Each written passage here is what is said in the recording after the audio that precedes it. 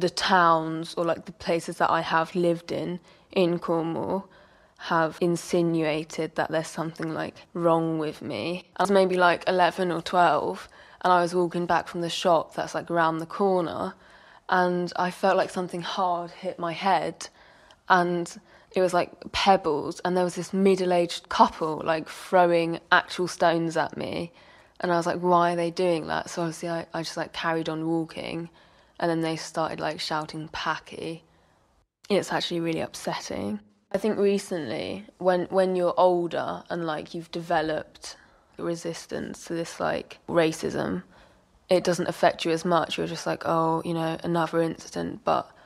really it shouldn't be like that. And I know when I was younger, it really did impact my self growth and just developing as like a normal kid, teenager should, because you've got people like in the street giving you dirty looks and you're like well why? And then you're like oh it's it's not happening to any of my other friends. It's only happening to you know me or me and this other person or me and my brother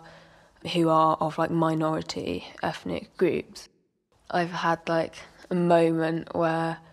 i was like maybe like 13 um 14 ish and I just sat like crying on my floor to my mum. And I was like, I don't know who I am. um, you know, not because I didn't know who I was as a person, like with my hobbies and stuff, but because I literally couldn't identify my physical looks with any other like group in a rural area. It kind of makes you feel as if you're all white or you're all black or you're like you're all Egyptian or you're all British